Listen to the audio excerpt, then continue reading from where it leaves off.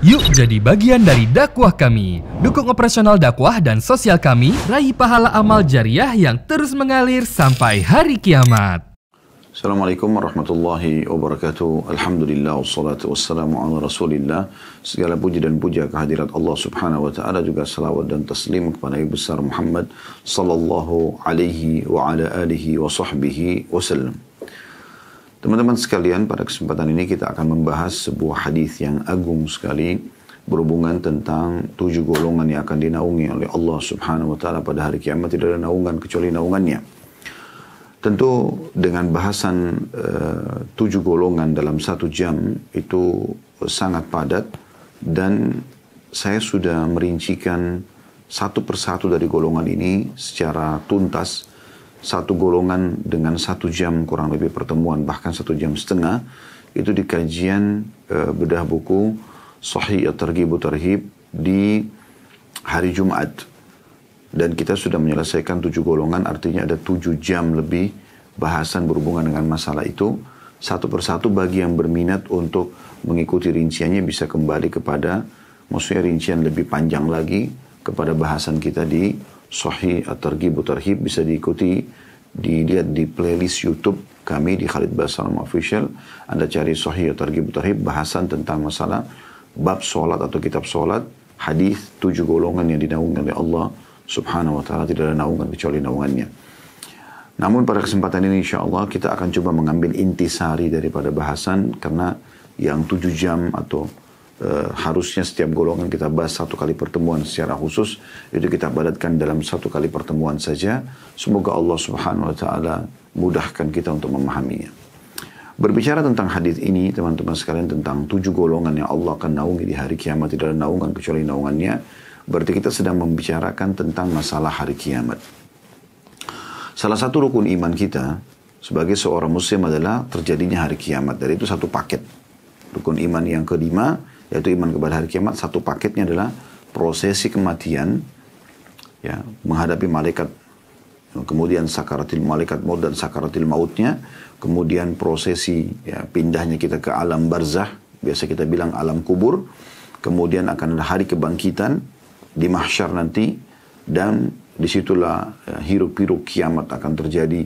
Bagaimana eh, apa namanya manusia di depan matanya melihat ada surga dan ada neraka dan bagaimana ketakutannya orang-orang yang akan menuju ke neraka. Karena apa yang selama ini mereka dengar, mereka saksikan dengan mata kepala mereka sendiri.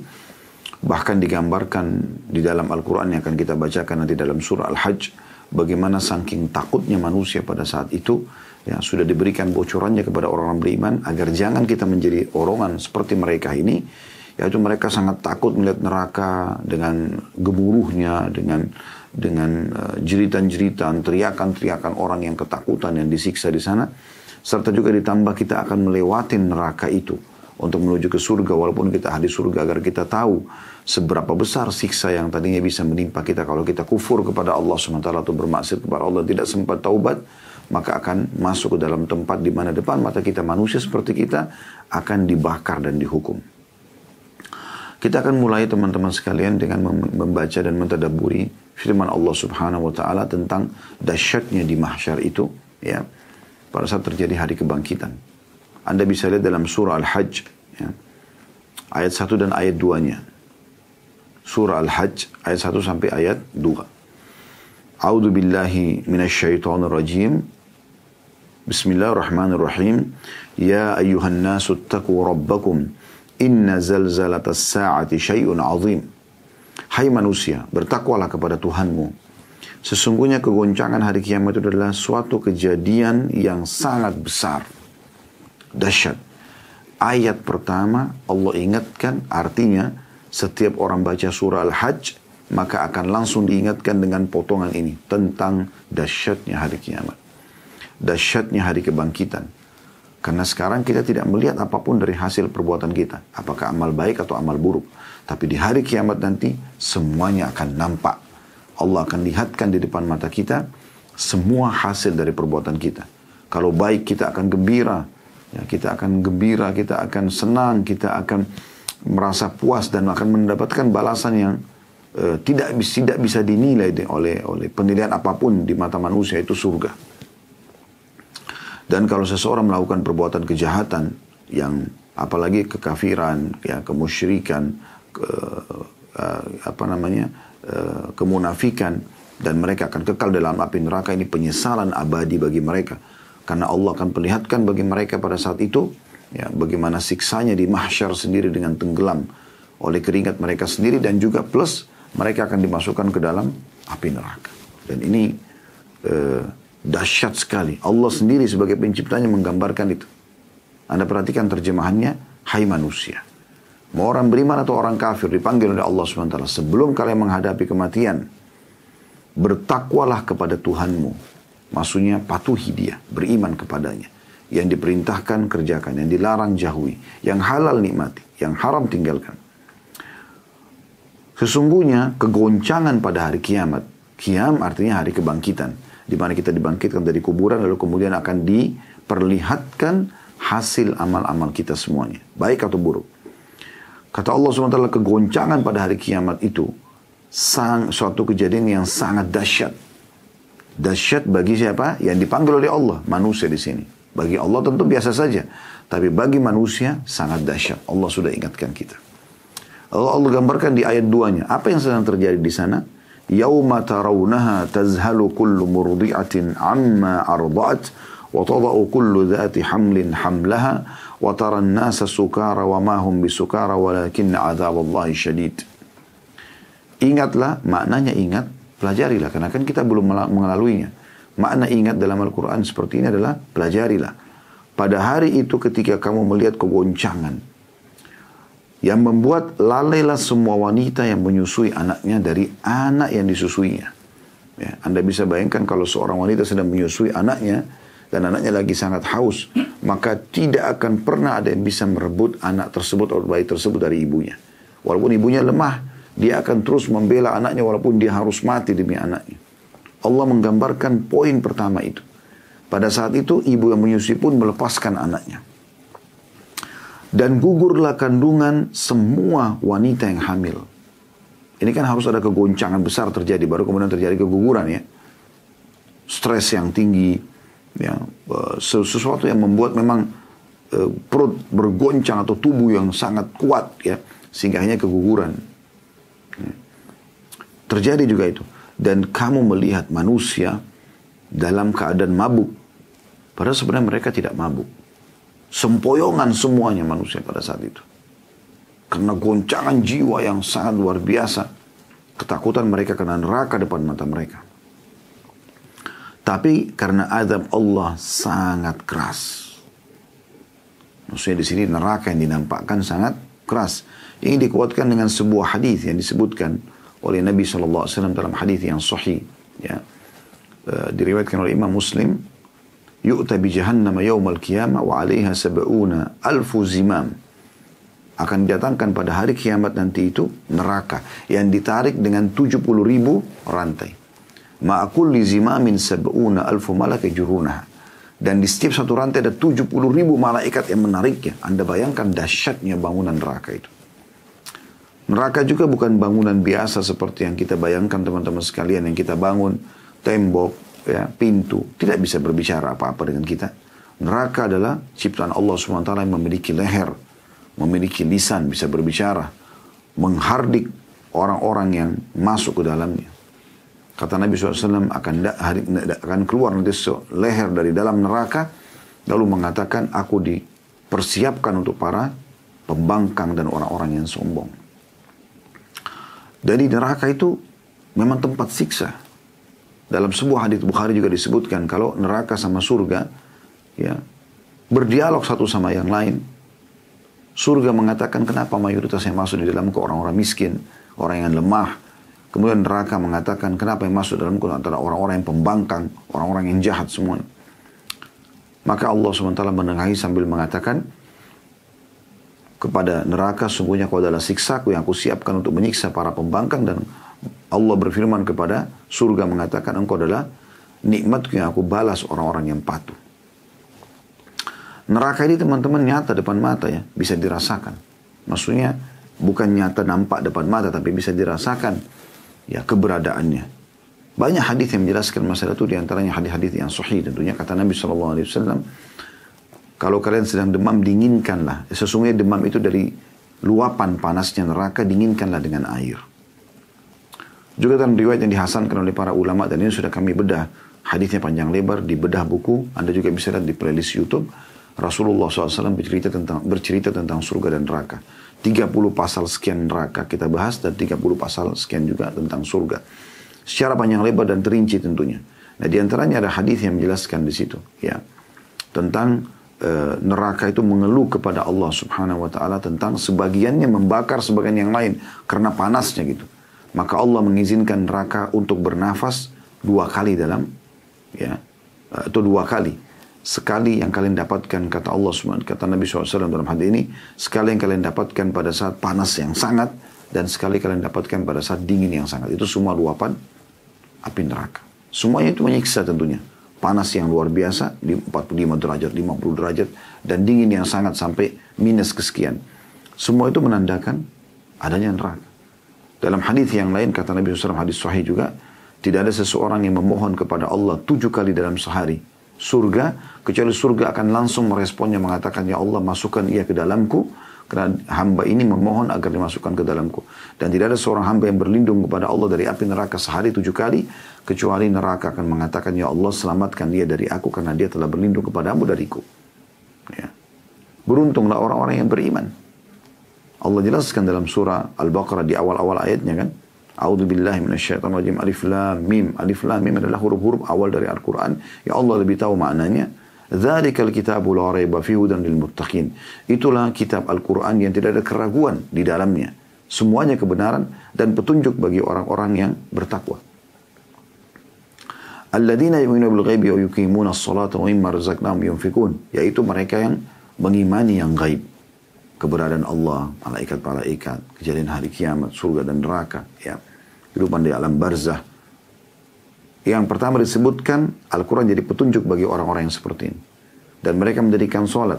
Dan mereka menginfakkan dari apa yang kami berikan kepada mereka. Jadi ada di sini yang beriman kepada yang gaib. Ya. Nah teman-teman sekalian, kita mau tidak mau akan dibangkitkan nanti. Banyak sekali dalil yang menyebutkan juga masalah itu. Seperti misalnya hadis Nabi SAW yang sahih, Ya ayuhan nas, innakum tuhsyaruna ila Allah hufatan uratan burla. Wahai sekalian manusia, kalian pasti akan ya dibangkitkan menghadap kepada Allah ya, di hari kiamat dalam keadaan tidak beralas kaki, telanjang tubuh dan tidak dikhitan.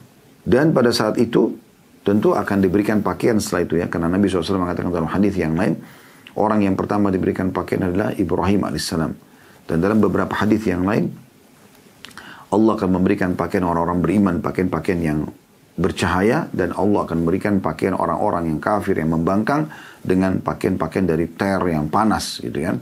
Sehingga terpisahkanlah dan terbedakan antara orang kafir dan orang beriman. Tapi gemuruh hari kiamat ini cukup panjang kalau kita ingin bahas. Saya ingin jelaskan langsung ke poin masalah hadis karena kita belum masuk ke hadisnya. Ya, bahwasanya pada saat itu nanti pada saat kita dibangkitkan, kita masing-masing akan berdiri di belakang nabi kita. Misalnya eh, setiap nabi akan ada pengikutnya di belakangnya, gitu kan? Baik yang beriman ataupun yang kafir. Dan pada saat itu orang-orang akan merasa yang yang hadir pada saat itu kepanasan yang luar biasa. Karena banyak riwayat yang menjelaskan kalau matahari itu akan mendekat kepada manusia. Seperti hadis yang sahih yang berbunyi kata Nabi SAW, tudna syamsu yaumal qiyamati minal khalqi hatta takuna minhum kamigdari mil. Pada hari kiamat nanti matahari akan didekatkan oleh Allah kepada seluruh manusia hingga sejarak satu mil. Ya. Ada riwayat lain, seorang perawi hadis dari sahabat mengatakan saya tidak tahu satu mil ini apakah jarak ya, jarak perjalanan ya, atau memang mil yang dimaksud adalah uh, orang Arab itu biasa kalau ingin menggunakan celak mata ada uh, kayu atau sekarang mungkin bahannya sudah dari plastik misalnya yang biasa atau dari besi ya biasanya dimasukkan ke dalam celak mata kemudian dioleskan ke mata. Nah pas pada saat mau oleskan ke mata ini dikatakan oleh orang Arab ini mil perdekatan mil. Apakah matahari itu dekatnya satu mil itu pun sudah sangat panas. Sekarang saja sudah jutaan kilometer jaraknya sudah luar biasa. Kita bisa rasakan panasnya bagaimana kalau dekat seperti itu. Dan ada juga mengatakan lebih dekat. Bahkan seperti dekatnya mata. Ya. Sehingga semua manusia akan mengeluarkan keringat pada saat itu. Dan dalam banyak hadis yang lain kata Nabi Shallallahu Alaihi Wasallam, ya, sesungguhnya manusia akan tenggelam dengan keringatnya masing-masing sesuai dengan kadar dosanya. Ada yang tenggelam sampai mata kakinya, ada yang sampai lututnya, ada yang sampai perutnya, ada yang sampai dadanya, ada yang tenggelam dengan keringatnya sendiri. Lalu Nabi SAW berikan isyarat sampai ke dagu beliau atau mendekati mulut beliau SAW. Atau dalam riwayat lain mendekati atau di, sampai di leher beliau SAW. Artinya keringat dia sendiri tidak tidak akan mengganggu orang lain. Sampai Allah menghakimi dia. Ini luar biasa ini. ya Peringatan dari Nabi Shallallahu Alaihi Wasallam. Nah, di saat dahsyatnya hal itu terjadi, teman-teman sekalian, Allah sudah memberikan bocoran kepada kita. Tanda kutip sini bocorannya ya, maksudnya pengetahuan kepada kita, lebih tepat bahasanya begitu mungkin. E, tentang ada orang yang tidak merasakan panasnya terik matahari itu. Bahkan mereka mendapatkan nikmat-nikmat yang besar. Mereka bukan para nabi-nabi. Karena nabi-nabi sudah pasti diselamatkan oleh Allah SWT. Mereka orang-orang seperti kita. Dan penyampaian hadis ini sampai kepada kita. Terus saja Allah jaga agar terus dipelajari orang beriman. Termasuk kita pelajari pada siang ini saudaraku seiman. Baik anda mengikuti acara ini secara live ataupun siaran ulang agar anda menjadikan diri anda salah satu dari tujuh golongan tersebut. Supaya jangan anda kena panasnya teriknya matahari pada saat itu dan tersiksa. Mendengar orang menjerit kesakitan saja sudah cukup menyiksa kita. Apalagi kalau kita sendiri merasakannya karena bukan hanya sekedar tenggelam dengan keringat, maka akan banyak fenomena di mahsyar yang terlihat siksa gitu. Ada orang yang diseret di atas wajahnya, wajahnya dibawa berjalan dan mereka menghindari duri-duri dengan wajah ya. Ya, sebagaimana Allah buat mereka jalan di dunia dengan telapak kaki, maka dia di mahsyar mereka berjalan dengan wajah mereka, gitu kan. Tersiksa. Ada orang yang dililit dengan hartanya yang menjadi ular kemudian mematok-matok kepalanya, gitu kan yang dia tidak mengeluarkan zakat hartanya dan sekian banyak bentuk-bentuk siksa yang nampak depan mata. Nah, ada orang tidak merasakan semua itu. Bahkan prosesi mereka melalui mahsyar sangat indah, sangat nyaman dan juga membuat mereka e, selain tidak merasakan siksa itu, mereka juga merasa waktu sangat pendek. Tidak seperti yang dibayangkan. Dalam hadis ini disebutkan tentang tujuh golongan, tapi perlu kita garis bawahi ini bukan berarti tujuh golongan saja. Karena masih ada golongan-golongan yang lain yang juga bisa dinaungi oleh Allah subhanahu wa ta'ala. Ya. Dan itu memang sudah difahami oleh para ulama dari hadith-hadith ini. Ya. Tapi ini adalah tujuh golongan yang disebutkan dalam hadith ini yang digabungkan. Sebab ada misalnya hadith yang lain, seperti hadith yang diriwayatkan oleh Imam Muhammad kata Nabi SAW, siapa yang memberikan utang atau tenggang waktu pembayaran utang ya atau memaafkan utang seseorang maka dia akan dapat naungan Allah di hari kiamat. Tidak ada naungan kecuali naungan Allah ya. Ini maksudnya adalah naungan di bawah arsnya Allah ya. Allah naungi mereka. Baik kita akan bacakan hadisnya teman-teman yang akan kita bahas pada kesempatan ini. Semoga Allah berkahi yaitu berbunyi dari Abu Hurairah radhiyallahu anhu an Abi Hurairah radhiyallahu anhu an Nabi sallallahu alaihi wasallam qala bahwasanya Nabi SAW telah bersabda Sab'atun yudhilluhumullah fi dhillihi yawma la dhilla illa dhilluh ada tujuh golongan yang pasti Allah akan naungi mereka. Sementara manusia lagi hiruk piruknya kiamat sudah kita gambarkan sebagian kecilnya tadi ya. Dari surah Al-Hajj dan beberapa riwayat yang kita gambarkan tadi. Atau sampaikan ya, tapi ada tujuh golongan yang Allah akan naungi. Tidak kena semua itu hiruk piruknya di bawah naungannya Allah. Maksudnya di bawah arsnya Allah subhanahu wa ta'ala ya yang tidak ada naungan kecuali naungan Allah pada saat itu. Dalam beberapa riwayat dikatakan gitu. Ya. Di sini juga dikatakan la dhilla illa dhillu. Tidak ada lagi yang bisa melindungi, bisa menaungi, ya, bisa menyelamatkan kecuali Allah. Maka mulai disebutkanlah golongan-golongan tersebut. Yang pertama al-imamul adil. Pemimpin yang selalu berlaku adil. Tentu syaratnya beriman. Kalau orang kafir tetap tidak bisa masuk dalam kategori ini. Kemudian yang kedua, wasyabun nasya'a fi nasya'a bi ibadatillah dan yang kedua adalah seorang anak muda yang tumbuh dalam ketaatan kepada Allah SWT. Yang ketiga, warajulun qalbu mu'allakun fil masajid. Yang ketiga adalah laki-laki yang terus hatinya terpaut dengan masjid. Yang keempat, warajulani tahabba fillahi ijtama alaihi wa tafarraqa alaihi. Dua orang laki-laki yang saling mencintai karena Allah, mereka berkumpul karenanya, bersahabat karenanya, dan berpisah juga karena Allah. Nanti akan kita jelaskan semua itu insya Allah. Yang kelima, warajulun da'athu imra'atun dhatu mansibin wa jamal faqala inni akhafullah. Yang kelima, seorang laki-laki yang dipanggil oleh wanita yang memiliki dua ciri khas. Dhatu mansib, punya kedudukan, wa jamal. Ya, kedudukan ini masuk dalamnya ya, anak terhormat, kekayaan dan segala macam. Dan kecantikan. Dua hal ini berkumpul padanya. Lalu dia mengatakan, saya takut kepada Allah. Yang keenam, rajulun tasaddaqa bi sadaqatin fa akhfaha la ta'lama shimalu ma tunfiqu yaminu. Seseorang laki-laki yang berinfak ya, dengan tangan kanannya sampai-sampai tangan kirinya tidak tahu apa yang dikeluarkan oleh tangan kanannya. Dan yang ketujuh yang terakhir, rajulun dzakarallah khalin fa fadat ainah. Seseorang laki-laki yang mengingat Allah sendirian, ya, Kemudian kedua matanya meneteskan air mata dan hadis ini adalah hadis yang sahih diriwayatkan Bukhari, Muslim, Ahmad Tirmidzi, An-Nasa'i, Ibnu Khuzaimah, Al-Baihaqi semua meriwayatkan hadis ini tentunya. Baik, hadis ini teman-teman kita langsung masuk ke uh, penjelasan tentang masalah hadis ini karena melihat waktu ya. Golongan pertama yang Allah muliakan pada saat itu adalah al-imamul adil. Pemimpin yang adil. Nah, adil di sini ya, memiliki makna yang luas. Tapi kalau kita mengambil makna khususnya adalah dia berlaku adil memberikan hak masyarakatnya. Tapi ingat sebagaimana saya katakan tadi, tentu syaratnya juga dia beriman kepada Allah Subhanahu wa taala. Dia beriman kepada Allah Subhanahu wa taala. Karena orang kafir tidak masuk dalam kategori ini. Ya. Itulah yang Allah sebutkan dalam surah Al-Bayyinah, A'udzu billahi minasyaitonir rajim. Innal ladzina kafaru min ahli kitabi wal musyrikina fi nari jahannam khalidina fiha. Ya. Sesungguhnya telah kafir golongan ahli kitab dari Yahudi dan Nasrani dan orang-orang musyrik dan mereka akan kekal dalam api neraka ya selama mereka meninggal dalam keadaan kekufuran itu. Dan dalam sebuah hadis yang sahih kata Nabi SAW, tidak ada seorang pun dari Yahudi, Nasrani, ataupun orang-orang majusi selain daripada ahli kitab. Mendengarkan aku diutus menjadi Nabi. Kemudian mereka tidak beriman kepadaku dan mereka meninggal dalam keyakinan tersebut kecuali mereka jadi penghuni neraka. Ya.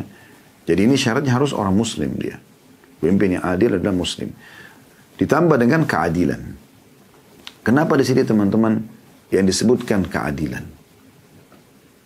Kenapa bukan kejujuran? Ya, misalnya. Kenapa bukan kedermawanan? Kata ulama, karena memang adil itu adalah uh, sesuatu yang menaungi semua itu. Maksudnya, orang tidak mungkin berlaku adil memberikan hak masyarakatnya dan menyamaratakan semuanya. Orang yang zalim dibantu orang yang berbuat kezaliman ya dihukum ya. Tidak akan mungkin terjadi kecuali orang itu memang dasarnya bertanggung jawab. Orang itu jujur. Orang itu memang dermawan karena dia ingin berbagi. Tidak mungkin. Jadi adil ini mencakup semua sifat-sifat kebaikan yang yang kalau dibahas satu persatu juga punya keutamaan tersendiri. Tanggung jawab amanah jujur ya dan segala macam. Itu masuk di makna adil.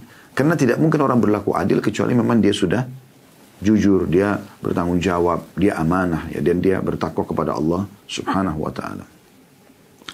Dan di sini teman-teman sekalian uh, banyak sekali contoh dalam masalah ini tapi yang paling nyata adalah kita bisa lihat kepemimpinan baginda Nabi alaihi salatu wassalam Bagaimana beliau sallallahu alaihi wasallam sebagai suri tauladan setiap orang beriman sebagaimana Allah sebutkan dalam surah Al-Ahzab, "A'udzu billahi minasyaitonir rajim." Uh, Laqad kana lakum fi Rasulillahi uswatun hasanah. Pada diri Rasulullah SAW itu ada suri tauladan buat kalian. Nabi SAW selalu berlaku adil. Tidak ada satu kezaliman pun kecuali beliau akan ya menangkan orang yang terzalimi dan menghukum orang-orang yang berbuat zalim. Sehingga tidak ada toleransi dalam kehidupan Nabi Shallallahu Alaihi Wasallam bagi pelaku kemaksiatan. Dia harus mengakui kesalahannya. Kalau itu ada hubungannya dengan hukuman fisik, maka dihukum secara fisik. Pernah ada seorang wanita dari turunan Quraisy, pejabat, maksudnya turunan pejabat kalau kita sekarang, orang-orang yang terhormat. Di masa jahiliyah mereka punya hukum potong tangan juga bagi orang mencuri gitu kan. Islam datang memastikan tentang hukum tersebut. Uh, dalam firman Allah Subhanahu wa taala dan pencuri laki-laki pencuri perempuan wasariq wasariqatu faqta'u aydiyahuma jazaa'an bima kasabana kala min Allah.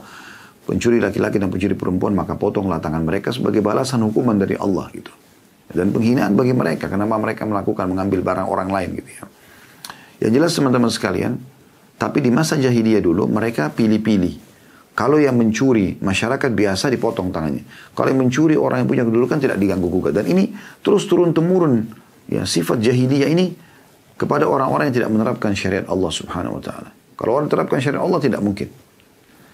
Pernah terjadi ada seorang wanita di zaman Nabi SAW setelah masuk Islam. Rupanya wanita ini suka mencuri. Setelah masuk Islam pun dia mencuri. Gitu kan. Namun orang-orang sahabat, mereka masih baru masuk Islam dan mereka berkata satu sama yang lain bagaimana nih, dihukum gak ya? Siapa kira-kira yang bisa menemui Nabi SAW dan menyampaikan tentang masalah ini agar jangan wanita ini dihukum gitu. Seperti tradisi orang-orang jahiliyah karena dia punya kedudukan gitu. Maka mereka fikir satu sama lain sampai menemukan seorang sahabat namanya Usama bin Zaid radhiyallahu anhu. Usama ini adalah anak Zaid. Zaid bin Haritha anak angkat Nabi SAW dan dikenal dengan Hibbin Nabi SAW. Kekasih Nabi SAW. Dan ini juga Usama dikenal ya Ibnu Hibbin Nabi SAW, anak kekasih Nabi SAW. Nabi sangat sayang dengan Usama.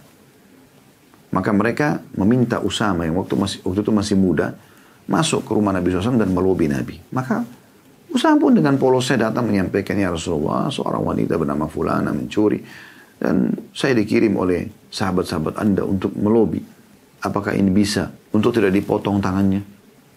Maka Nabi SAW mengatakan kepada Usama kalimat yang jelas. Ini menunjukkan tentang keadilan seorang pemimpin. Atasyu fi haddi min hududillah ya Usama. Apakah kau menolong, membela orang dalam pelanggaran yang harus kena hukuman dari dari hukuman-hukuman Allah hai Usama? Maka beliau mengatakan demi zat yang jiwa Muhammad dalam genggamannya, kalau seandainya Fatimah binti Muhammad, anakku sendiri, Nabi SAW mengatakan itu. Dan dari di antara anak-anak perempuan Nabi SAW, Ruqayyah, uh, Ummu Kalthum, Zainab, dan Fatimah. Fatimah yang paling Nabi SAW cintai. Radiyallahu anhum, anhun ajma'in. Jadi Nabi SAW kasih perumpamaan, kalau seandainya Fatimah binti Muhammad mencuri, laqatatu yadaha, saya pasti akan potong tangannya. Sebagian ulama hadith mengatakan, pencuri wanita ini juga bernama Fatimah kebetulan. Maka Nabi SAW berikan perumpamaan juga Fatimah di sini. Allah alam. Itu yang pernah kami dengarkan dari beberapa guru kami di kota Madinah tentunya. Jadi saya sampaikan ini. Dari hadis ini, atau dari riwayat ini kita ambil pelajaran bagaimana Nabi SAW tidak ada toleransi. Salah-salah. Benar-benar gitu. Tidak ada karena keluarga beliau misalnya atau karena orang terkenal lalu kemudian beliau bela. Tidak. Dan ini sebuah pelajaran penting teman-teman sekalian. Banyak di antara orang tua yang mereka tidak menerapkan keadilan kepada anak-anaknya dari sisi misalnya mungkin dia ada dari sisi pemberian. Tapi dia tidak ada dari sisi hukuman misalnya. Karena ada anak yang lebih disayang maka tidak dihukum. Enggak. Berikan hukuman. Ya. Berapa banyak orang tua yang anaknya narkotika, lalu kemudian ibunya merasa kena sayang sama anaknya, begitu ditangkap oleh polisi, lalu dia nangis-nangis, dia lobi suaminya supaya bisa menyelamatkan si anak ini dari genggaman penjara misalnya, atau dari polisi. Lalu kemudian ayahnya pun membayar dan segala macam dikeluarkan. Ini anak ini tidak pernah merasakan hukuman dari perbuatannya. Minggu depan, bulan depan diulangi lagi. Dan terus begitu terjadi. Ini salah satu poin yang keliru harus kita berikan hukuman kepada orang yang melakukan pelanggaran supaya dia tahu tentang masalah efek daripada perbuatannya itu.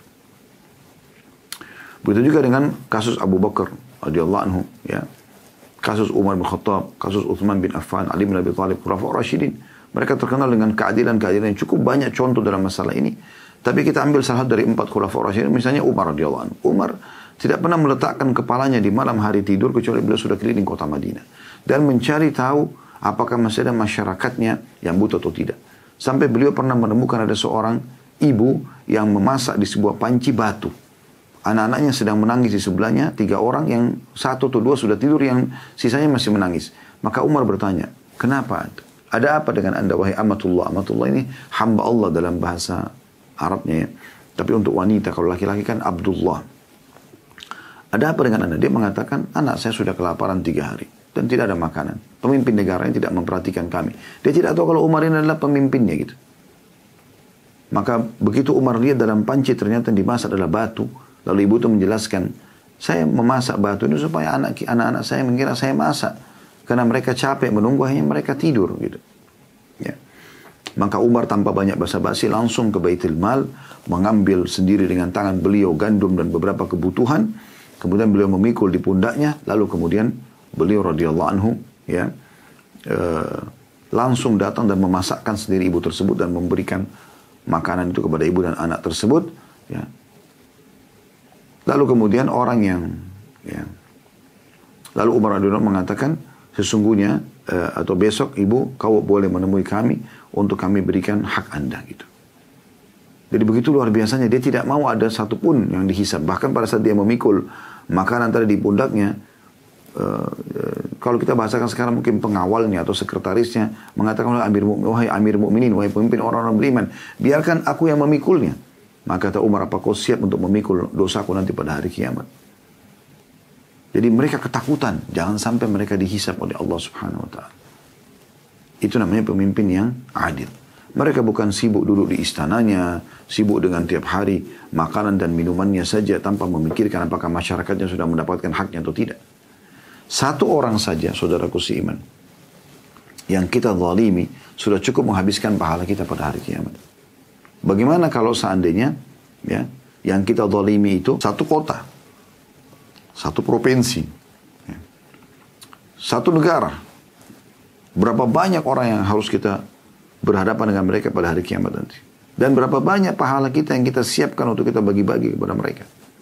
Dari mana kita tahu teman-teman? Mungkin seluruh amal yang pernah kita kerjakan 50 tahun, 60 tahun, semasa kita hidup 70 tahun misalnya. Habis oleh satu orang yang nuntut pada hari kiamat. Makanya Nabi SAW mengingatkan dalam sebuah hadis yang sahih. Wahai para pemimpin ingatlah hadis ini. Kata Nabi SAW, e, apakah kalian tahu siapa itu muflis? Atau druna manil muflis? Kalian tahu nggak orang yang bangkrut itu siapa? Kata para sahabat, man la dirahmalahu wala dinar ya Rasulullah. Orang yang tidak punya dinar dan dirham. Bisnis bangkrut. Wahai utusan Allah. Kata Nabi SAW, bukan. Bukan itu. Al-muflis summa ya'ti yawmal qiyamah. Orang yang bangkrut sebenarnya adalah orang yang datang pada hari kiamat.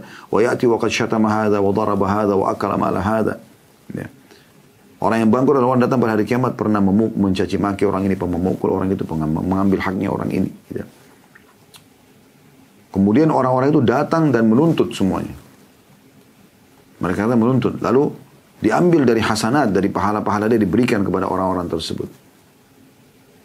Sampai kata Nabi SAW, fa'in funiyat hasanatu kalau sudah habis pahalanya. Dan masih ada saja orang yang menuntut, ukhida min sayyiatim. Maka diambil dosa-dosa mereka. Orang lain berbuat zina, dia yang tanggung hukumannya. Orang lain mabuk, dia yang tanggung hukumannya. Orang lain narkotika, dia yang tanggung hukumannya. Orang lain bakti durhaka sama orang tua, uh, dia yang tanggung dosanya. Hanya kenapa? Karena dia pernah menzalimi orang. Itu hadit ini menjelaskan masalah individual ya. Tapi kita bisa tarik hadit ini kepada pemimpin negara yang punya masalah dengan banyak masyarakatnya. Banyak kezaliman yang dilakukan. Berapa banyak pahala yang akan habis pada hari kiamat. Bukan cuma itu.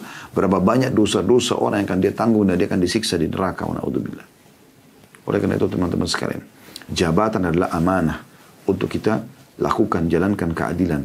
Bukan justru kita menunggangi untuk memuas-muaskan diri kita. Sampai Ali bin Abi Thalib radhiyallahu anhu pernah didatangkan di Kufa, dibuatkan buat beliau sebuah istana kerajaan supaya layak sebagai seorang raja. Maka beliau, beliau begitu melihat langsung beliau mengatakan, aku berlindung kepadamu ya Allah dari istana yang membuat aku lalai, yang membuat aku jadi ya mengejar dunia ini. Lalu beliau meninggalkan dan beliau tinggal di rumah biasa. Saking takutnya gitu. Bukan berarti pemimpin tidak bisa tinggal di istana, bukan. Bisa saja. Tapi dia harus tahu, ada tanggung jawab dia. Kalau enggak, orang-orang di hadapan mata dia ini akan menuntut dia pada hari kiamat nanti. Baik ini syarah atau penjelasan sederhana, walaupun ini cukup panjang harus dipaparkan, tapi mudah-mudahan ini sudah bisa difahami. Yang kedua adalah seorang anak muda tumbuh dalam ketaatan kepada Allah SWT. Ini dijelaskan oleh Salman Al-Farisi radhiyallahu anhu beliau mengatakan afna syababahu eh, wa nasyatahu fi ibadatillah. Artinya anak muda ini menghabiskan waktu mudanya dan Eh, dan kegiatan-kegiatannya ya aktivitasnya dalam ibadah kepada Allah Subhanahu wa taala. Jadi teman-teman sekalian masa muda bukan untuk dihabiskan dalam kemaksiatan.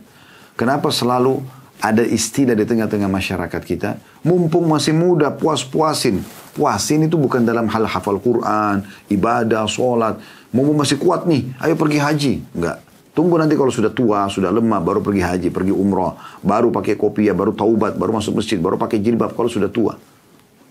Mana masa mudanya? Habis dalam kemaksiatan. Ugal-ugalan. Yang digambarkan dalam sinetron-sinetron di negara kita, anak-anak muda yang nakal, yang ganggu gurunya, pergaulan bebas, gonta-ganti pacar. Subhanallah, gitu. Kenapa semua ini? Bahkan kadang-kadang kalau ada anak yang cantik ataupun gagah, menjadi sebuah pertanyaan, ya, kalau anak-anak ini mesti hadir di pengajian, kenapa nggak jadi artis misalnya, yang supaya dia bisa tampil uh, dalam bermaksiat kepada Allah SWT. Kenapa harus begini? Ya. Kenapa harus pura-pura jadi suami, pura-pura jadi istri? Terus terbuka aurat, terus ini, terus pelukan, terus ciuman, terus, terus. Kenapa harus seperti ini? Kenapa bukan dalam ketaatan? Apakah Anda sudah tahu pemilik rumah Darul Arqam yang dipakai dakwah oleh Nabi SAW di awal di Mekah itu umurnya cuma 16 tahun teman-teman sekalian. Apakah anda sudah tahu Zubair bin Awam dan Talha bin Ubaidillah radhiyallahu dua orang yang dijamin masuk surga, dua-duanya masuk Islam di umur belasan tahun, satu 16, satu 15 tahun. Ya. Apakah anda sudah tahu nama yang sering anda dengar Abdullah bin Abbas, Abdullah bin Umar, Abdullah bin Amr bin As, ya, Abdullah bin Mas'ud, Anas bin Malik, ya, Usama bin Zaid, ya. banyak sahabat-sahabat yang masih mereka masih belia, muda sekali, dan mereka dengan semangat menjalankan agama ini. Mereka anak-anak muda yang harus jadikan contoh. Kalau anda sebagai orang tua pernah melakukan masa-masa Anda lalui di masa hidup Anda ini dengan keburukan Anda bergaul bebas, uh, zina sebelum nikah, Anda minum minuman keras, mabuk, mabuk, pokoknya pergaulan bebas gitu yang Anda lakukan, maka jangan wariskan kepada anak-anak. Anak-anak harusnya kita bayar kekurangan kita dulu dengan cara memperbaiki mereka. Itu yang benar. Bukan malah kita wariskan keburukan itu. Ini hal yang harus digarisbawahi teman-teman sekalian. Ya. Banyak orang tidak. Dia hamil di luar nikah dulu.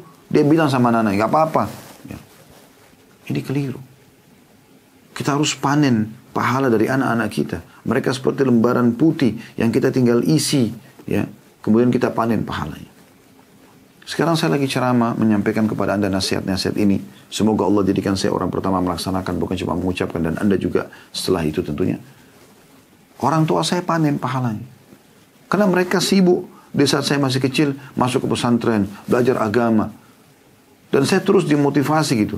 Alhamdulillah Allah mudahkan saya bisa belajar. Walaupun saya juga masih punya banyak kekurangan, masih harus terus belajar. Masih ada kesalahan-kesalahan, tapi paling tidak saya sudah bisa mengarahkan diri saya kepada agama yang saya ketahui sebatas ilmu saya dan saya bisa ajarkan kepada orang lain. Yang tidak ada manusia yang sempurna tentunya. Kenapa? Kenapa kita harus lahirkan anak-anak kita, lalu kita biarkan mereka ke pergaulan-pergaulan bebas. Saya lihat banyak di antara kerabat kami bahkan begitu. Orang tuanya kaya raya lalu dia biarkan saja anaknya bergaul bebas. Bawa pacarnya ke rumah, narkotika, mabuk-mabukan. Setiap malam malam ahad keluar ke diskotik, ke karaoke. Biarkan. Akhirnya pada saat ada masalah ditangkap oleh polisi, pada saat hamil di luar nikah, pada saat ini, malu, baru malu. Kenapa malu? Ya, terima saja konsekuensinya. Kenapa enggak enggak suruh anak-anak kita ke masjid, kenalkan mereka masjid, majlis ilmu, tutup aurat dari awal. Ajarkan mereka tanggung jawab, amanah, kejujuran dan seterusnya. Allah musta'an. Dan kata Nabi SAW dalam sebuah hadis, Inna Allah yujibu min syabin laysa lahu sabwa. Allah itu kagum dengan anak muda dan tidak mengikuti hawa nafsunya. Justru di masa muda itu kita masih sehat. Kita lakukan ibadah-ibadah kepada Allah subhanahu wa ta'ala. Ini juga tentu penjelasan yang cukup panjang, tapi kita mudah-mudahan ini sudah mewakili. Jadi kalau kita masih muda, habiskan dalam ketaatan kepada Allah SWT. Mumpung masih kuat. Ya. Kalau kita luput pada saat kita masih muda, sekarang anak-anak kita, kita jadikan sebagai aset amal jariah kita. Yang ketiga, seseorang laki-laki yang hatinya terpaut dengan masjid. Nah, di sini walaupun ya disebutkan warajulun seorang laki-laki tapi uh, ada hadis yang menjelaskan wanita pun boleh ke masjid ya, walaupun laki-laki yang sekarang prioritaskan. Ya. Karena ada hadis Nabi SAW yang yang berbunyi, La tamna'u nisa'akum al-masajid wa buyutahunna khairun lahunna. Jangan kalian melarang wanita-wanita kalian menuju ke masjid dan rumah mereka lebih baik buat mereka. Iya benar. Ya. Tetapi tetap saja mereka boleh ke masjid gitu kan. Cuma memang ada adab-adabnya. Di sini ya, laki-laki lebih difokuskan karena memang mereka ditekankan sekali untuk ke masjid. Dan ini banyak sekali keutamaan, banyak sekali keutamaan. Sayang sekali mereka sia-siakan itu, ya. Dalam riwayat Tirmidzi dijelaskan warajulun kana qalbuhu mu'allakan bil masjid idza kharaja minhu hatta ya'udu ilaih. Seorang laki-laki yang hatinya terpaut dengan masjid apabila ia keluar dari masjid hingga ia kembali lagi padanya. Selalu gelisah dari pulang sholat duhur sebentar asar nih. Tidak mau luput sholat asar itu di masjid. Keluar dari sholat asar aktivitas gelisah hatinya Jangan sampai luput maghrib. Sebelum maghrib atau pas mau maghrib dia sudah siap-siap langsung dia sudah di masjid. Setiap sholat seperti itu. Hatinya terpaut dengan masjid. Dan di saat dia tidak ada kegiatan lain, maka dia duduk di masjid. Dia menunggu. Ini terlalu banyak keutamaannya. Terlalu banyak keutamaannya teman-teman sekalian. Ya. Di antara keutamaan yang perlu kita garis bawahi dalam masalah ini adalah tentu ini ini cuma berbagi saja sebagian ya. Masih banyak yang lainnya gitu. Ya. Seperti misalnya hadis Nabi Shallallahu Alaihi Wasallam, salat seseorang berjamaah di masjid ini lebih utama salat daripada salat di rumahnya dan pasarnya 25 derajat. Ya. Karena jika seseorang itu beruduk dan menyempurnakan uduk, saya langsung terjemahkan menghemat waktu ya. Memperbagus uduknya, kemudian ia mendatangi masjid dengan tujuan hanyalah untuk sholat, maka kakinya melangkah itu yang satu mengangkat derajatnya dan yang satu menghapuskan dosa sampai ia masuk ke dalam masjid. Jika ia masuk masjid maka ia berada dalam sholat selama sholat itu yang menahannya. Artinya dari awal dalam sebuah riwayat dikatakan seseorang itu kalau keluar ingin ke masjid dari pertama dia keluar dari rumahnya sampai dia balik lagi terhitung dia seperti mengerjakan sholat. Dan para malaikat akan terus mendoakan seseorang di antara kalian selama ia berada di tempat ia sholat di masjidnya. Para malaikat yang mengatakan, Ya Allah rahmati dia, Ya Allah ampuni dia, Ya Allah terima tobatnya. Hal itu terus berlaku ya selama ia tidak menyakiti orang lain dengan perkataan dan perbuatannya dan selama tidak berhadas ketika sholat. Maksudnya tidak membatalkan wudhunya. Hadis riwayat Bukhari Muslim. Ya. Ini hadis mulia sekali. Ada hadis yang selalu menyentuh saya dan menjadi motivasi untuk ke masjid teman-teman sekalian. Bagi yang masih malas ke masjid, perhatikan hadisnya ini. Ya, hadis riwayat Abu Dawud dan hadis riwayat Ahmad dan hadis Sahih. Kata Nabi SAW, "Man kharaja min baitihi mutatahhiran ila salatin maktubah." Ya, siapa yang keluar dari rumahnya menuju ke masjid dalam keadaan suci, sudah wudhu di rumahnya untuk mengerjakan sholat wajib subuh, duhur, asar, maghrib, isya, termasuk Jumat kalau hari Jumat ya Fajru kahajril hajil muhrim. Maka dia dapat pahala haji orang yang sedang berihram. Satu hari lima kali bisa dapat pahala haji dengan ke masjid. Kenapa teman-teman tidak ke masjid? Anda bukan hidup di sebuah negara yang masjidnya susah. Ya, saya datangi beberapa negara-negara non-muslim yang kami diundang berdakwah di sana. Susah. Mau ke masjid butuh waktu 15-10 menit dengan kendaraan baru bisa sampai ke sebuah masjid. Kalaupun dapat ada satu musola kecil yang tidak terdengar azan, parkirannya susah. Di Indonesia, Masya Allah, Tabarakallah, hampir setiap sudut kita bisa temukan. Ya, di kota-kota yang mayoritas muslim, hampir setiap sudut, apalagi kayak di Jakarta, hampir setiap gang ada musola. Saya tidak pernah temukan kendala untuk sholat, Masya Allah, di Jakarta.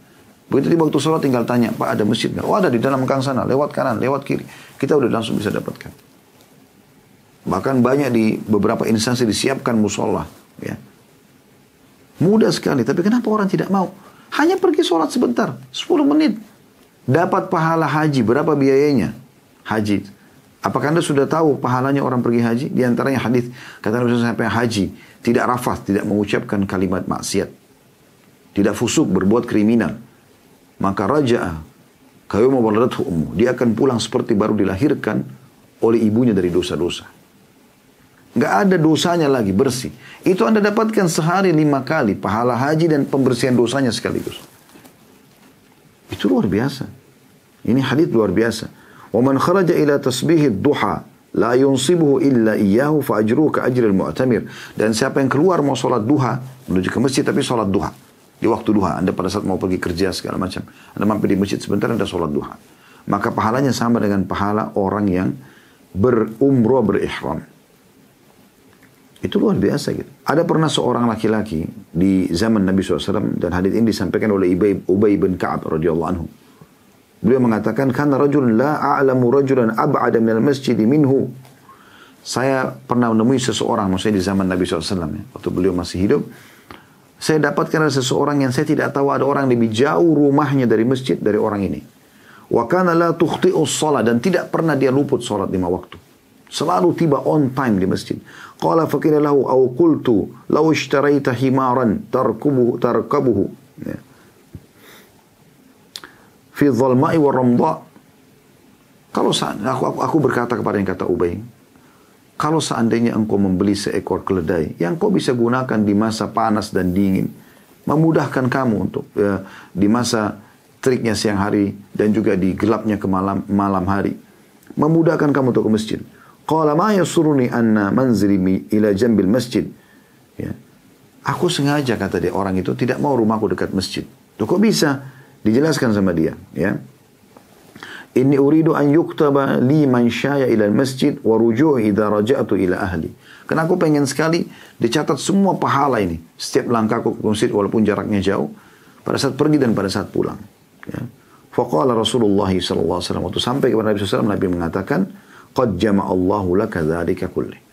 Allah telah menggabungkan untukmu semua itu. Ya. Sampai Imam Nawawi mengatakan dalam syarah Sahih Muslim, fihi itsbatu thawab fil khuta fil ruju'i min as-salati kama yathbutu fil dhihab.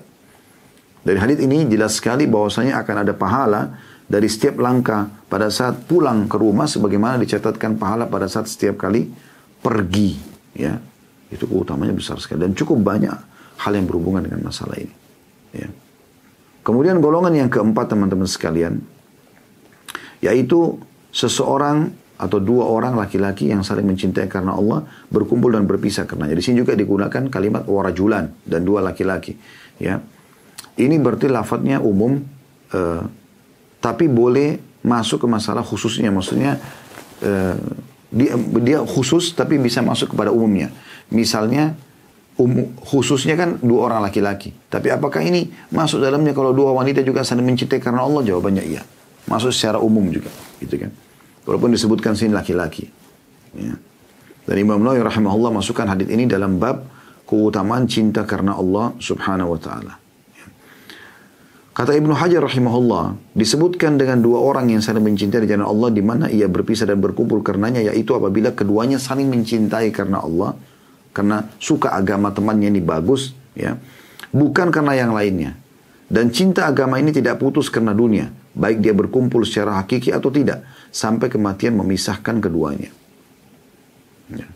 Dan ini jelas sekali tujuannya. Jadi yang dimaksud di sini teman-teman sekalian, bagaimana seorang laki-laki di antara kita mencari laki-laki yang lain, sesama jenis ya, laki-laki yang lain yang kita anggap lebih soleh dari kita.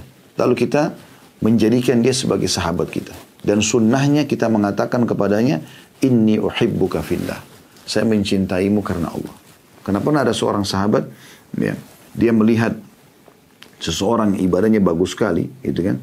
Kemudian dia mengatakan, ya Rasulullah saya cinta sama orang. Kata Nabi SAW, kejar dan ucapkan depan matanya. Lalu kemudian, kalau kita ucapkan ini uhibbuka fillah, sunnah, atau kalau ada mengucapkan kepada kita, sunnahnya kita jawab.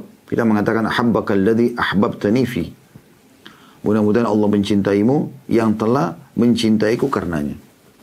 Atau karena kau mencintaiku karenanya. Ini sunnahnya kita ucapkan seperti itu. Begitu juga dengan wanita.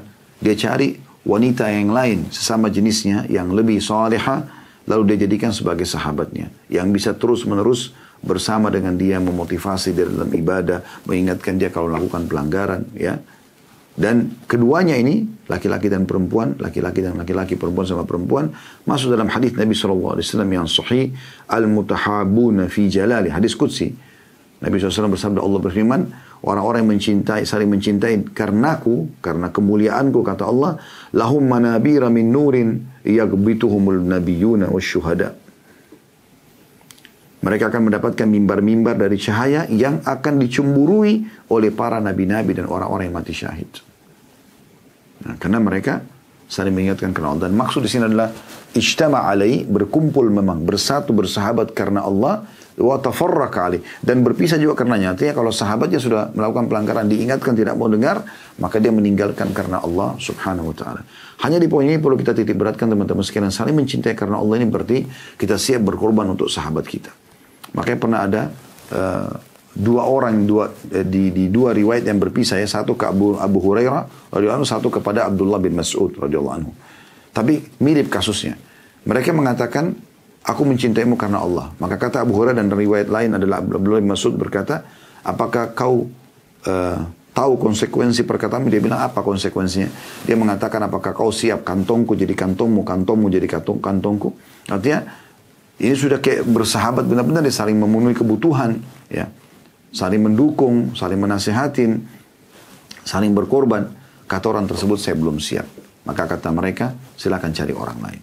Ya. Jadi bukan hanya sekedar mengucapkan kata-kata tapi yang betul-betul berkorban ya untuk sahabatnya. Kemudian yang kelima teman-teman sekalian adalah seorang laki-laki yang diajak berzina oleh seorang wanita yang memiliki dua sifat zatu mansibin wa jamal. Punya kedudukan maknanya anak terhormat dan kaya gitu kan dan umumnya kan orang kalau terhormat itu punya harta, punya kekayaan ya. Ah. Dan juga Jamal punya kecantikan. Untuk apa? Berzina. Lalu kemudian dia mengatakan, ini khafullah. Enggak, saya takut kepada Allah. Di sini kata ulama, kalau seandainya wanita seperti ini saja, ya, artinya cantik dan kaya, ditolak, apalagi kalau miskin dan jelek, atau cantik tapi miskin ya. Atau kaya tapi jelek misalnya tetap jadi jelek. Kalau yang sudah punya kecantikan punya harta ditolak maka tentu yang lain lebih pantas untuk ditolak gitu ya. Dan dia mengatakan di sini aku takut karena Allah tapi memang betul-betul dia ya tulus. Dia nggak mau mengerjakan.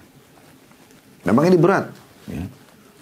Kasus Nabi Yusuf alaihissalam yang bisa jadi pelajaran penting di sini. Dia diajak berzina oleh majikannya sendiri ya. Atau bisa dikatakan ibu angkatnya di rumah ya. Di istana yang besar.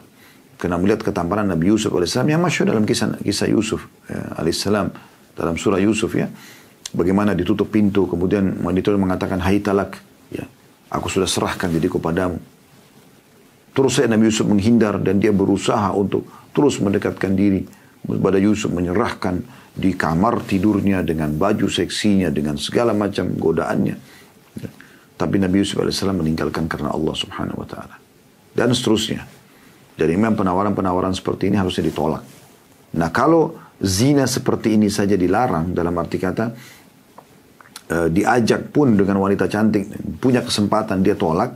Bagaimana dengan orang yang zinanya memang sengaja dia pergi kepada pelacur-pelacur itu lebih lebih pantas untuk ditinggalkan. Jelas-jelas perempuan kotor. Kalau ini perempuan terhormat pun ditolak, apalagi kalau perempuan yang keliru. Dan sebenarnya intinya meninggalkan perbuatan zina karena Allah subhanahu wa ta'ala. Dan Allah sudah mengingatkan dalam surah Isra, surah nomor 17 ayat 32, A'udhu billahi minasyaitan rajim, wa la taqrabu zina innahu kana fahishatan wa sabila. Dan janganlah kamu mendekati zina karena sungguhnya perbuatan itu keji dan jalan yang buruk. Ya. Dalam arti kata hindari semuanya yang mengajar ke situ, mengajak ke situ dari apa pun sifatnya sehingga terjadilah perzinahan itu. Dan ini kita sayangkan sekali di Indonesia sangat terbuka pintunya ya. Karena orang seseorang harus lebih hati-hati. Yang keenam yang dinaungi oleh Allah SWT adalah seseorang yang bersedekah. Disebutkan juga sini warajulun tasaddaq. Digunakan kata-kata rajul seorang laki-laki. Tapi maksud dalamnya wanita juga di sini ya. Seseorang laki-laki yang bersedekah dengan sesuatu yang ia menyembunyikan hingga tangan kirinya tidak tahu apa yang dikeluarkan oleh tangan kanannya. Tentu ini adalah bahasa kiasan ya. Karena kalau tangan kanan keluarkan, tangan kiri juga tidak tahu kalau dalam pandangan manusia ya. Seperti itu kurang lebih. Jadi memang eh, di sini teman-teman sekalian ada pelajaran banyak diambil. Yang pertama dianjurkan melakukan perbuatan baik dengan tangan kanan. Ya, termasuk bersedekah. Makanya Imam Bukhari rahimahullah menyebutkan dalam kitab zakatnya bab khusus pada saat membahas juga hadis ini bab as-sadaqatu atau as-sadaqatu bil yamin. Sedekah yang menggunakan tangan kanan itu pelajaran. Dan juga pelajaran yang lain adalah bagaimana seseorang itu kalau tangan kirinya saja dalam hadis ini disebutkan tidak tahu bagaimana dengan orang lain agar jangan riak gitu. Agar jangan riak. kita harus usahakan merahasiakan semaksimal mungkin. Kecuali dalam keadaan darurat, memang apa boleh buat. Misalnya ada orang di depan umum minta bantuan dan tidak mungkin. Kalau kita tidak kasih, mungkin dia udah pergi dan tidak dapat bantuan. Atau kita sedang lewat, ada kotak amal masjid di pinggir jalan, kita harus memberikan. Kalau tidak, mungkin kita tidak lewat lagi di jalan itu misalnya. Atau mungkin besok kita lewat sudah tidak lagi kotak amalnya. Donasi sudah terkumpul misalnya. Apa boleh buat? Allah sebutkan dalam surah Al-Baqarah surah nomor 2 ayat 271. A'udzu billahi. In in tubdus sadaqati fa ni'mahi wa in tukhfuha wa tu'tuha al-fuqara fa huwa khairun lakum wa yukaffiru ankum min sayyi'atikum wallahu bima ta'maluna khabir. Artinya, jika kamu menampakkan sedekahmu, maka itu baik saja. Apa boleh buat kalau tidak bisa, tidak ada solusi lain. Karena kalau kita tidak kasih di depan umum sekarang, mungkin orang itu akan pergi dan kita tidak dapatkan. Ya. Anda lagi haji, lagi umroh, ramai sekali orang. Anda lagi di pinggir jalan. Ya. Anda lagi di sebuah acara lalu Anda diminta menyumbang. Siapa yang mau menyumbang Bapak Ibu sekalian lalu kemudian Anda naik untuk memberikan sumbangan Anda. Itu apa boleh buat? Kata Allah itu baik saja. Yang penting kita bisa kontrol jangan riak. Jangan karena mau dipuji oleh manusia. Karena Allah SWT. Tapi Allah bilang jika kamu menyembunyikannya dan memberikannya kepada orang-orang miskin maka itu lebih baik. Dan Allah akan menghapus sebagian kesalahan-kesalahanmu dengan sedekah itu. Dan Allah maha teliti terhadap apa yang kamu kerjakan. Allah teliti sekali dalam menilai ya pengorbanan-pengorbanan tersebut. Dan teman-teman sekalian ini usahakan kita rutinkan sedekah tersebut dan jangan sampai sedekah-sedekah ini batal hanya karena kita ingin pujian orang, ya. Atau hanya karena menyakiti orang yang menerima. Allah ingatkan itu ya, karena sayang sekali. Banyak orang suka bersedekah, tapi misalnya tidak bisa terkontrol. Cerita terus. Hampir seluruh orang yang ditemui tahu kalau dia pernah bersedekah di masjid ini, di yayasan itu, di pesantren ini. Apa manfaatnya? Ya. Allah menyebutkan dalam surah Al-Baqarah surah nomor 2 ayat 264. A'udzu billahi minasyaitonir rajim. Ya ayyuhalladzina amanu la tubtilu shadaqatikum bil manni wal adha kalladzi yunfiqu malahu riya'an nasi wa la yu'minu billahi wal yawmil akhir famathalu kamathali safwanin 'alayhi turabun fa asaba wabilun fatarakahu salda la yaqdiruna 'ala syai'in mimma kasabu wallahu la yahdil qaumal kafirin. Hai orang-orang beriman, janganlah kamu menghilangkan pahala sedekahmu dengan menyebut-nyebutnya dan menyakiti perasaan si penerima. Seperti orang yang menafkahkan hartanya karena ria kepada manusia. Dia pengen pada saat kasih, orang itu mengatakan terima kasih ya. Kalau tidak dibilang terima kasih, oh nggak tahu terima kasih nih. Kalau orang itu tidak puji. Untuk apa? Biarkan aja. Urusan kita sama Tuhan kita Allah. Tidak perlu pujian dari orang gitu. Seperti orang yang menafkahkan hartanya, hartanya karena ria kepada manusia dan dia tidak beriman kepada Allah hari kemudian. Bukan karena Allah, bukan karena mengejar pahala di hari kiamat. Maka perumpamaan orang itu yang karena ria, pamer-pamer, hanya karena mau dipuji oleh orang. Seperti batu yang licin, di atasnya ada tanah. Diibaratkan tanah itu adalah sedekahnya dia. Batu yang licin gitu. Ya. Ditaruh. Sehingga tanah itu ya bisa jadi ya bisa kena licinnya, tanah itu bisa berceceran, jatuh gitu. Ditambah lagi karena dia cerita sama orang, kemudian batu itu ditimpa hujan lebat. Ceritanya dia ini adalah hujan lebat. Lalu menjadi bersihlah dia tanpa bertanah. Mereka tidak menguasai sesuatu pun dari apa yang mereka usahakan dan Allah memberi petunjuk kepada orang-orang yang orang yang ya Allah uh, tidak memberi petunjuk kepada orang-orang yang kafir. Intinya sedekah teman-teman sekalian dan kejar hadis Nabi SAW yang berbunyi dalam hadis Bukhari setiap pagi Allah turunkan dua malaikat. Setiap hari. Yang satu mengatakan, Ya Allah lapangkan rezeki orang yang bersedekah. Yang satu mengatakan, ya hancurkan, binasakan orang yang bakhil. Kata Ibnu Hajar rahimahullah pada saat menjelaskan hadis ini, yang dimaksud dengan hancurkan adalah hancurkanlah diri orang itu dan juga hartanya. Sedekah adalah kunci kebaikan jiwa seseorang. Kapan dia suka bersedekah berarti jiwanya sudah baik, sudah bersih, suci. Karena dia dengan bersedekah itu teman-teman berarti hatinya memang baik mau berbagi dengan orang. Yang terakhir teman-teman golongan adalah warajulun dzakarallah khairan fafadat ainah. Seseorang laki-laki di sini masuk juga mananya perempuan tentunya ya. Yang mengingat Allah sendirian kemudian dia meneteskan air mata. Ini keutamaan menangis karena Allah Subhanahu wa taala. Ya, karena dia rindu dengan surga, dia takut dengan neraka, dia mengenang dosa-dosanya, dia merasa malu dengan Allah misalnya, maka dia lalu meneteskan air mata. Atau ada luput masa-masa lalunya dari amal-amal soleh dan dia sesali. Semua itu karena Allah SWT. Menangisnya karena itu. Maka Nabi SAW sebutkan dalam sebuah hadis yang lain menguatkan ini, ainani la tamassuhuman nar. Dua mata yang tidak akan pernah disentuh oleh api neraka. Mata yang pertama ainun bakat min khasyatillah. Mata yang meneteskan air mata karena takut kepada Allah. Karena tunduk kepada Allah. Mengingat kebesaran Allah. Ya. Merasa rindu dengan Allah. Merasa cinta dengan Allah merindukan janji-janji Allah dari surga dan balasan kebaikan di hari kiamat nanti. Uh, uh, takut dari siksa Allah SWT, takut dari neraka yang Allah jadikan sebagai ancaman. Ya. Karena Allah jadikan ancaman maka dia takut gitu kan. Yang kedua wa'ainun batat tahrusu fi sabidillah. Mata yang begadang karena menjaga perbatasan peperangan. Ya.